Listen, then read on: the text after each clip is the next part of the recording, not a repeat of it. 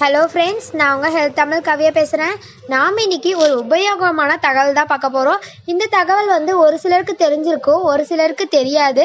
அந்த தெரியாதவங்களுக்காக தான் நான் இன்றைக்கி சொல்ல போகிறேன் எனக்கு தெரிஞ்ச சில விஷயம் உங்கள் கூட பகிர்ந்துக்க போகிறேன் ஃபர்ஸ்ட் விஷயம் என்ன அப்படின்னா ஃபோன் நம்ம பேசும்போது எப்பயுமே இடது காதலில் தான் வச்சு பேசணும். அதுக்கப்புறம் மருந்து இல்லை மாத்திரை ஏதாவது நீங்கள் சா அதாவது சாப்பிட்றீங்க அதாவது குடிக்கிறீங்க அப்படின்னா அதை வந்து எப்பயுமே சுடு தண்ணியில் மட்டும் குடிங்க.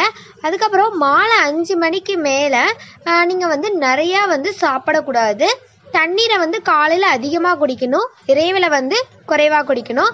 தூங்குறதுக்கு நம்மளுக்கு சிறந்த நேரம் என்னென்னா பத்து மணிலேருந்து நாலு மணி வரைக்கும் தான். மதிய உணவுக்கு சாப்பிட்டதுக்கு அப்புறமும் மருந்துகள் ஏதாவது மருந்து சாப்பிட்டிங்கன்னா அதுக்கப்புறம் உடனே படுக்கக்கூடாது குறைந்தது ஒரு அரை மணி நேரம் வந்து கழித்து அதுக்கப்புறம் தான் வந்து நீங்கள் படுக்கணும். அதாவது தூங்குறதுக்கு.